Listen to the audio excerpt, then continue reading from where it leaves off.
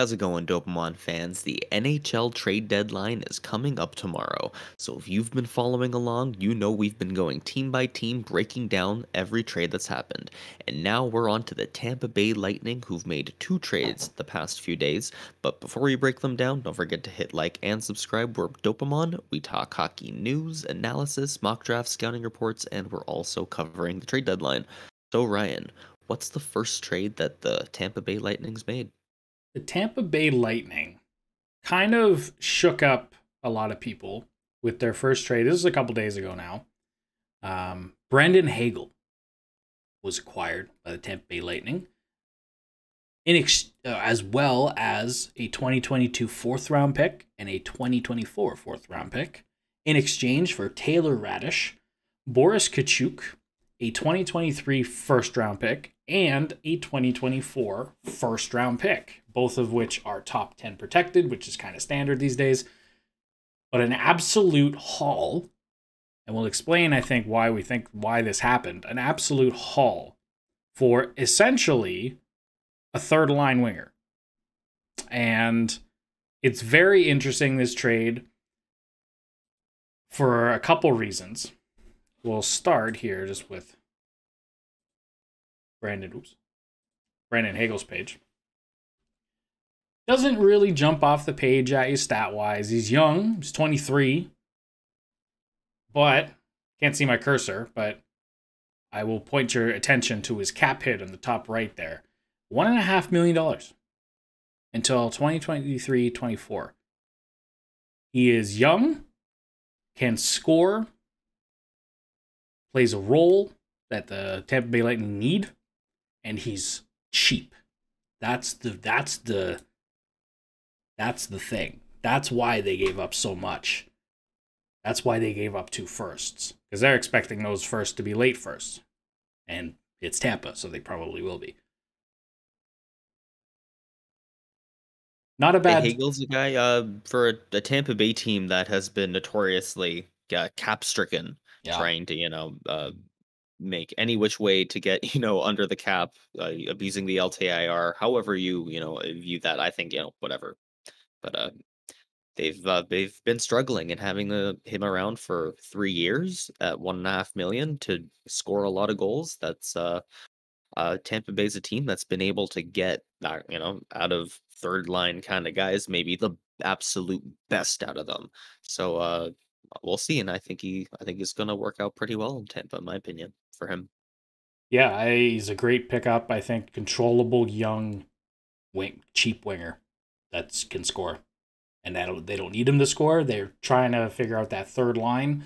Obviously, it was you know Coleman, Gourde, and and uh, Goodrow last year. Barclay Goodrow um, was probably the best, or their best line. Honestly, could have been their first line. It was so well used.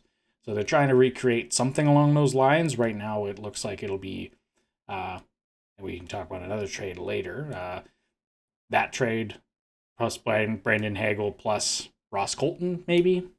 We'll see. Uh, the two guys going the other way, I really like. First off is Taylor Raddysh. It's a second round pick back in 2016, 58th overall. They both are. Yeah, they both are. Uh, Boris Katchouk, the other guy, 44th overall. Uh, guys who have been in the system for a while, they're both 24 now. Not that they haven't done well in the minors, it's just they, they haven't. Florida, Tampa's historically been pretty deep and have had a lot of you know high end skills. So these guys kind of got bumped down the depth chart, and apparently, you know, they're good buddies. Now they're going to Chicago together. Uh, Taylor Raddysh already with two points in two games in, in Chicago. They're gonna get more. They're gonna get more of a look you know, both wingers, same age, same draft year. They're gonna get more of a look in Chicago, and Chicago is, you know, they're they're rebuilding. So getting two firsts and two prospects, I still consider these two prospects. I don't know about you, but getting I do as well. So many assets, so many assets for what is essentially to them a third line winger. Chicago doesn't care if he's cheap; they have cap space. Mm-hmm. But Tampa does. I'll tell you what. and they're they're desperate for it, and they were willing to give up two firsts. And you know, uh, if they faced a team that you know beats them in the first round, they that could be a pretty high uh, first round pick. You know, stuff happens in the playoffs, so yeah, it could be in the late teens, early twenties, potentially. Yeah, I think a, a remarkable trade mm-hmm. for both sides. I'll give the win to Chicago. Um, yeah, big big W. That's two first round picks, two guys who you know were lost in the depth chart in Tampa, who have you know we consider them prospects maybe because there's this question mark that how high can they really go? Can they be you know top six forwards? Are they gonna you know fill onto something else? So like they they are prospects in that like the Chicago's going to give them you know that opportunity to to be that kind of uh, to play into that kind of role and that's huge because uh, Chicago's going to need it through uh, the the weird rebuild retooling uh, process that they're going through right now. Absolutely. And another guy which we like, both of us like. You can announce this next trade. The second trade, I'm not a fan of, but I will announce it anyway. The Tampa Bay Lightning acquire from the Ottawa Senators Nick Paul who is retained at 44.5% in exchange for Mathieu Joseph and a fourth round pick, uh, the Tampa's fourth round pick. Uh, Nick Paul having a, uh, a fairly good season on a team that's doing awful right now. He's uh, got all the he's good uh, all the good analytics and stuff. Uh, Nick Paul I believe he's like in his prime right now. He's fast, he's big, he's got yeah, enough skill to play with elite talent, but you know, probably more of a third line kind of guy.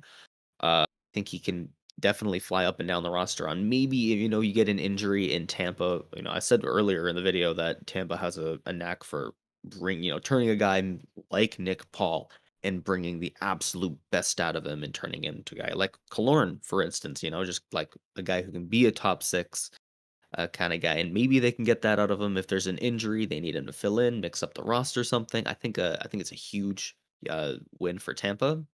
Uh, when we see like them uh, taking out Raddysh and Katchouk and bringing in Hagel and Paul, I think that really solidifies uh, their forward uh, depth. Uh, and for Ottawa, uh, re- really stupid trade. Uh, Pierre Dorion called Nick Paul untouchable, and then they offered him a four-year, ten million dollar contract. Uh, apparently, that's what's being reported out there. Uh, that's two and a half million a year for four years, which is it's kind of kind of low. I felt like he deserved at least three years, three and a half each, something along more along the lines of what Connor Brown had uh, gotten. Uh, so, uh, uh, and going the other way, of course, Mathieu Joseph to the Ottawa Senators. I think he's a guy that you know could definitely and maybe play with Matthew, uh, with uh, sorry Brady Tkachuk, and have you know a real grit impact line for Ottawa. But I, I just I don't like the return for uh, that uh, Ottawa gets here, especially you know they retained some salary on Nick Paul to make it easier for Tampa to fit under the cap, and uh, that's that's that's it. That's the whole trade. What do you I, think, Ryan? I'm going to disagree with you. I like this for Ottawa. Um, I don't know if Ottawa was going to end up signing Nick Paul being a UFA. Mathieu Joseph is an RFA. It's a little bit more controllable. And I think, honestly, is a better fit for Ottawa right now. Um, I, t- I do think he can slot into that middle six. Like you said, potentially play, play even with a guy like Brady Tkachuk. Some, you know, decent, you know, decently quick. He's a pretty fast winger, as far as I know. Uh, 18 points in 58 games, 19 and 56 last year. 26 points in 70 games in 2018 19 compared to Nick Paul, who plays a little bit more of a role, mind you, but just pure stats wise, I'd, I'd take Mathieu Joseph. Obviously, stats aren't everything, but along with the fourth round pick to the quote unquote rebuilding Ottawa Senators, um, figure quotes, um, mm-hmm. I think Ottawa comes away with this one. I think Nick Paul will be really, really good in Tampa, and it'll make Ottawa fans like yourself question it a little bit. But I think anybody going to Tampa Bay is going to be better, depending on what team, no matter what team they're coming yeah, from. Absolutely, um, So you're going to get you know better numbers out of Nick Paul. He's going to be in the playoffs. He's going to have the spotlight on him, and you're gonna go, God damn it, we gave up that guy. But Mathieu Joseph is no slouch, and I think you should be excited for a guy like him. Maybe we'll see. There's um something we've mentioned on the channel, you know, before. I think maybe you mentioned it in the the the Leafs trade speculation video we did. And Nick Paul's the kind of guy that when you are a playoff team, you want to like almost like build around him and your depth and stuff. He's a guy that, you know, you should Ottawa have traded and you know kept when you when you're a winning team you want him around but hey you know Mathieu Joseph brings his own type of intangibles and maybe you're right maybe he in Ottawa is like a perfect type of fit uh they've been mixing around uh huge options with uh Drake Batherson out uh, on the on the right wing they've put Tim Stützle down the middle now so everything's up in the air in Ottawa and Mathieu Joseph will have a big opportunity for himself to maybe crack uh, higher in the roster than he would have in Tampa. So, mm-hmm. but the primary team in this this video anyway, Tampa Bay Lightning, like a lot of the teams in their division, are absolutely gassed from a draft pick perspective. Uh, and you can't see my cursor or whatever, right? But first round pick this year, third round pick next year, and then no first round pick in either of the next two years. They are going for it. They are obviously in full championship mode. They've won the last two. Why the hell not keep trying for it? Uh, their forward group depth is probably where they were most vulnerable. I think their defensive group is essentially the same, mm. right? If not exactly the same. Andrei Vasilevskiy is still Vasilevskiy.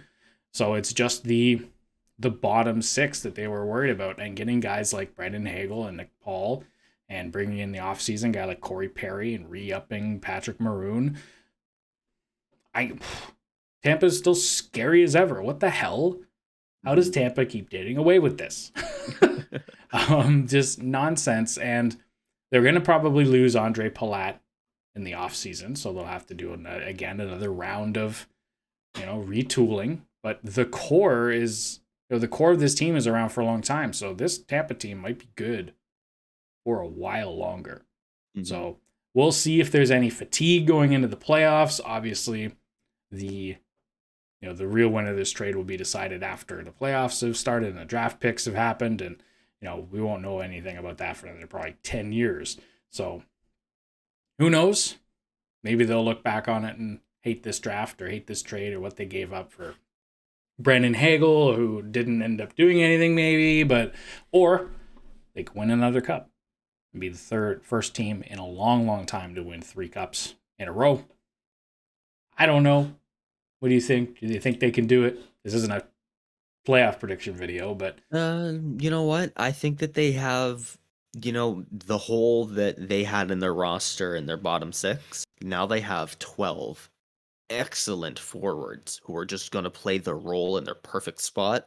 Those 12, if they can stay healthy, I really like Tampa right now and uh, it's going to be another crazy uh, Florida Tampa probably battle in the playoffs. So, yeah, Florida, Tampa, Toronto, Boston.